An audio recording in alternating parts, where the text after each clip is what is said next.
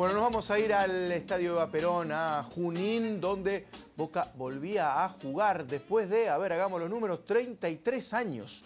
¿Eh? En 1982, un Boca que peleaba el campeonato que después terminó ganando Estudiantes de La Plata, fue a, ese estadio, perdió, ¿sí? Y perdió grandes chances a la hora de la lucha por el título. Bueno, volvía a jugar allí.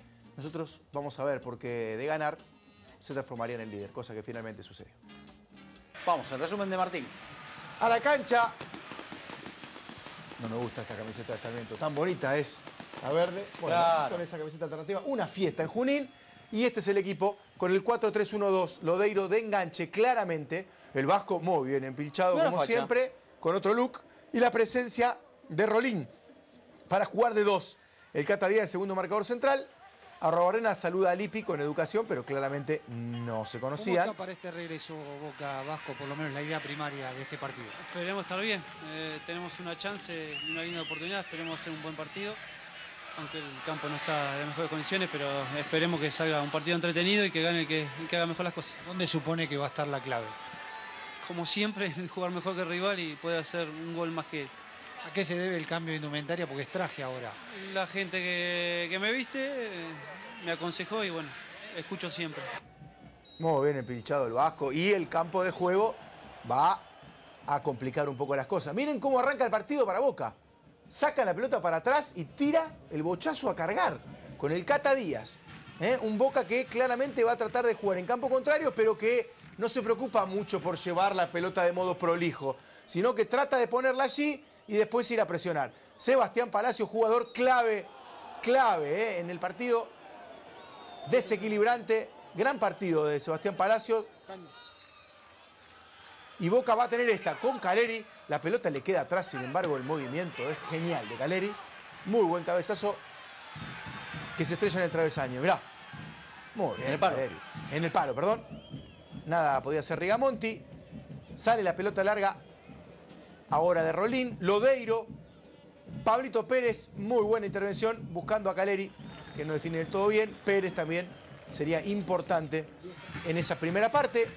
Tiro libre, muy bueno, por cierto, de Sebastián Luna, se fue cerca. Y ahora, ¿hay penal a Gervasio Núñez? Para mí no, para usted sí, Rodríguez. Para mí lo engancha. No, para mí no, para mí él busca el contacto. Pero es discutible, por supuesto. A ver. Con el pie de Herbes. Mira, para mí él busca el contacto, Herbes deja el pie quieto, pero lo vemos distinto. Miren a Pérez, miren, para acá, para allá, para acá, para allá. Presiona a Pablito Pérez y obliga al lateral. Ahora, epa, bien, Gervasio, sigue para el lírico. Claro que sí. Boca trata de presionar allí. Remate de Pablo Pérez, controla Rigamonti, pero no encuentra el gol. Miren esta. Buena triangulación con Meli, con Lodeiro, que ahora tiene la 14, le dejó la 10 a Tevez, y Peruzzi. Empezaba a crecer Boca por aquel sector, por la derecha. Peruzzi también participando mucho más que Colazo en el ataque. Centro de Meli, cabezazo de Lodeiro y Rigamonti que controlaba. Boca tenía chances, cada vez más claras. Gervasio que la saca. Orión que da rebote, llega el gol, pero hay posición adelantada. Clara. Sí, de Chávez, el delantero de punta, que debutaba hoy. El Vasco dice, más chicos, apretemos, estamos muy largos. Gana Herbe, de buen partido. Y viene la presión de Boca. Pero sale la contra y a Boca le jugaban ahí, a la espalda de Colazo, como muchas veces. Va a llegar el centro de Fornari, el cabezazo de Chávez y Orión que no llegaba. Ahora, lateral. A ver el Vasco, a ver, bajala Vasco, matala. No. A ver una segunda vez. Bueno, mejor con la mano, dice el Vasco, para no ensuciar la pincha, claro. Y de ese lateral va a llegar el gol. Muy bien por Pichi Herbes, de muy buen partido. Gambetea, descarga con Pablo Pérez. Excelente pase del ex hombre de Newells y muy buena definición de Sebastián Palacios, hombre fundamental en el ataque de Boca. Gran pase de Pablo Pérez y el tucumano que vuelve a marcar. Muy buen partido del delantero Geneise. Boca trata ahora sí, con la ventaja de manejar la pelota. Con Lodeiro. Pase Pablo Pérez, Meli. Definición, llega Lodeiro y Boca no lo puede rematar. Inclusive va a terminar sufriendo un poco por esto. La carita del Vasco, ¿no? Como diciendo, "Mm, hay, que, hay que liquidarlo. Ahora, Sánchez, el remate y buena respuesta, Orión, decididamente. Tampoco es que vea. Mirá Robarrena, ¿viste la manito de Robarrena? Sí. Decía, roten, muévanse. ¿eh? Pide que no se queden quietos. Y otra vez Sebastián Palacios desequilibrando, juntando dos y generando la falta. Muy bueno el tucumano, prosigue la jugada con el taco de Lodeiro, colazo y la va a tener Meli. Remate pifiado del ex hombre de color. Claramente es el momento de Boca en el partido. Sí. Entiendo que sufra Barrena por desaprovechar esa oportunidad, pero no estaba mal el 1-0, ¿no? Sí, a mí me pareció que en el primer tiempo Boca pudo haber marcado, otro más, más. pero es cierto que también Sarmiento tuvo sus chances. ¿eh? Fue un muy lindo primer tiempo, muy entretenido. Te digo más, creo que tal vez merecía más terminar con un 2-1 que con un 1-0. Ah, puede ser, puede ser. Esta es muy buena jugada de Boca. Meli, que aguanta la llegada de Peruzzi, mete el centro Peruzzi y no llega nadie a conectar, pero es otra buena de Boca. Sin embargo, sobre el final, pudo Sánchez empatarlo con ese zurdazo. Y nos vamos ya a la segunda parte, donde no va a pasar demasiado. ¿eh? El caño de Lodeiro, Herbes que sigue creciendo. En 30 segundos va a quitar dos veces. Mirá. Acá. Ganando. Buen partido de Pichi Herbes. Un futbolista que Boca extrañaba, ¿eh? se, sintió, se sintió la ausencia de Herbes. El termómetro, el equilibrio ahí en la mitad de la cancha. Se equivoca Pablo Pérez y comete esta falta un tanto innecesaria y queda amonestado. Atentos a este detalle porque Pablo Pérez, un jugador clave para Boca. ¿eh? Miren este choque increíble de Caleri y Meli. Describe lo que fue el segundo tiempo, donde pasó muy Oh. poco y se jugó muy mal. Digo, Pablo Pérez va a quedar expuesto a una expulsión. Ya amonestado, algo que tiene que corregir Pablito Pérez, un jugador integral. Juega bien con la pelota, marca, llega al área rival. Miren esto. Boca devuelve la pelota y Caleri hace caso omiso. Presiona y miren la calentura de Caleri ahora, ¿eh? Miren. Extraño lo que pasó porque se dio un par de veces que había laterales, devolvían la pelota y se la tiraban fuerte para presionar al otro. Se calienta el partido. Boca intenta tocar, esta es buena ya con Betancur en el lugar de Lodeiro y termina con este centro que no alcanzan a conectar.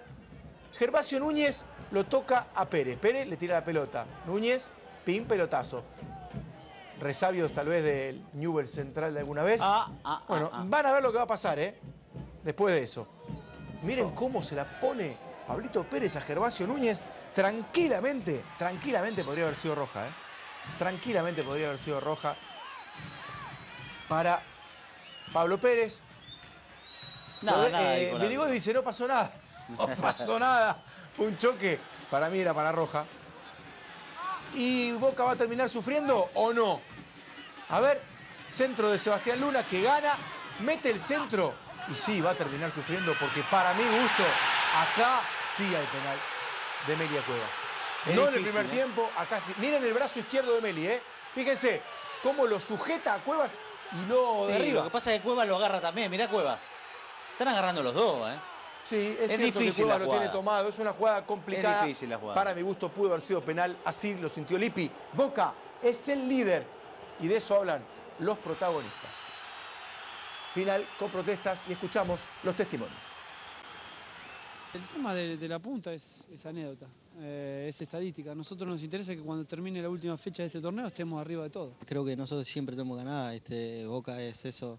eh, y bueno, nosotros tratamos de, de dar lo mejor de nosotros para llevar los tres puntos a casa y bueno, este, contento también por, por el esfuerzo de todos los compañeros. Teniendo en cuenta que Palacios es el goleador de Boca en el torneo, que se viene una megaestrella como Tevez, a la hora de elegir los delanteros, ¿vas a tener en cuenta apellido o actualidad?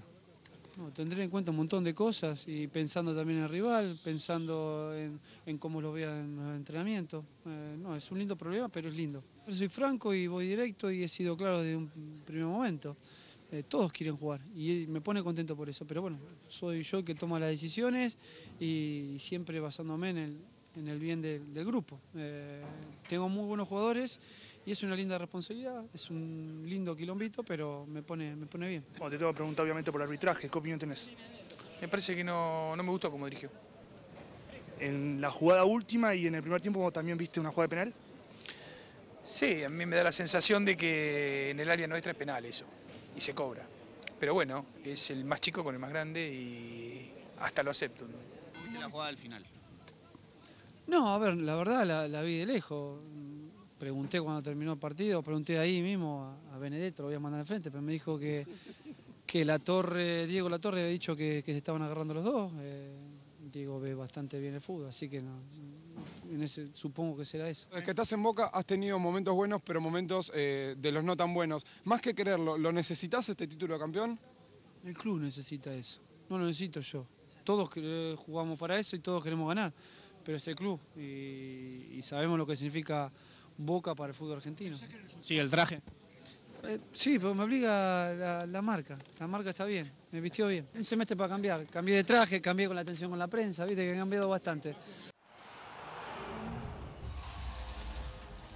Bueno, eh, eh, eh, eh, en, en tren de joda, el Vasco Robrera también deja algunos títulos, ¿no? Un semestre para cambiar, dice. Por empezar cambió el esquema, el 4-3-3 o 4, este, a ver, 4-1, 4-1 de, de Boca, tan visto en el semestre pasado, desapareció al menos para este partido y habrá que ver qué pasa con la llegada de Tevez.